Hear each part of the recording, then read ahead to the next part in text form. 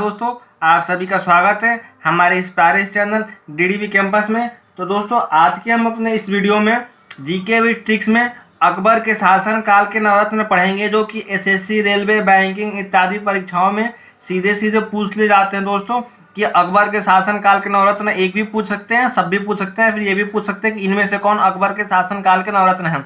दोस्तों, अकबर के शासन काल में जितने भी नवरत्न थे, उसको हम देखेंगे ट्रिक के साथ। दोस्तों, आइए देखते हैं।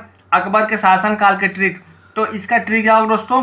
बात बात सॉरी बात बात में मध दोस्तों मध जब आप गाँव में देहात की तरफ़ जाएँगे दोस्तों, गाँव में जाएँगे तो हनी को मध बोलते हैं तो वहीं कहते हैं, बात बात में मध बात बात में मध दोस्तों, बी। पहले बी का मतलब क्या होता है दोस्तों? बीरबल।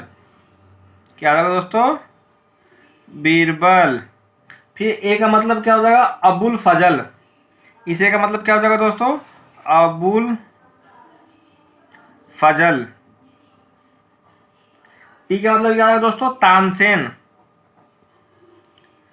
तान सेन फिर इस बी का मतलब क्या हो जाएगा दोस्तों? भगवान दास। भगवान दास। फिर इस ए का मतलब क्या होता है? अब्दुल रहीम खाने खाना। क्या दोस्तों? अब्दुल रहीम खाने खाना। फिर टी टी का मतलब क्या होता है टोड रमल। टोड रमल।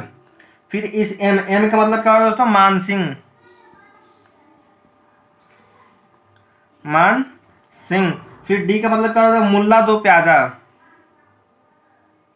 मुल्ला दो, प्याजा। इसका मतलब क्या हकीम, हकाम। हकीम, हकाम।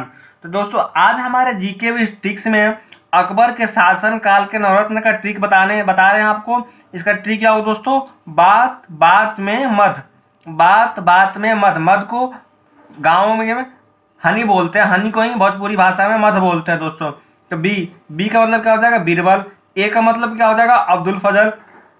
टी का मतलब क्या हो जाएगा दोस्तों? तानसेन। फिर इस बी का मतलब क्या हो जाएगा? भगवान दास। ए का मतलब अब्दुल रहीम खाने खाना। टी का मतलब क्या हो जाएगा? टोडरमल।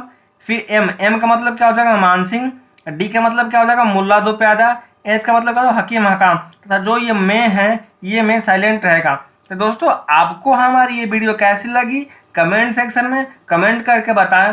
अगर आप हमारे चैनल पर नए हैं तो चैनल को सब्सक्राइब करें, वीडियो को लाइक करें, तथा वीडियो को शेयर करना ना भूलें। Thank you.